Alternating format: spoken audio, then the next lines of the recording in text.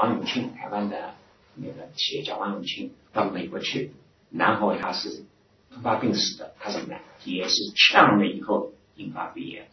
那么甚至于我们的朱德朱老总和廖承志都是高龄以后喝牛奶喝汤以后呛而引发死的。所以上了年龄的五六十岁以上七八十岁以上吃东西一定注意不能呛。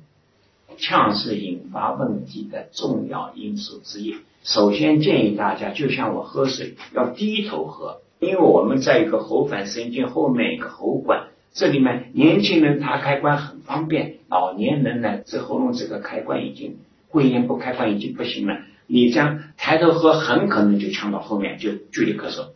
第一个是要低头喝，第二个是喝水最好用吸管，在床上不能喝，哪怕躺过来都不能喝。如果真的要给老人喝，拍拍背，让他坐起来，慢慢低低头喝。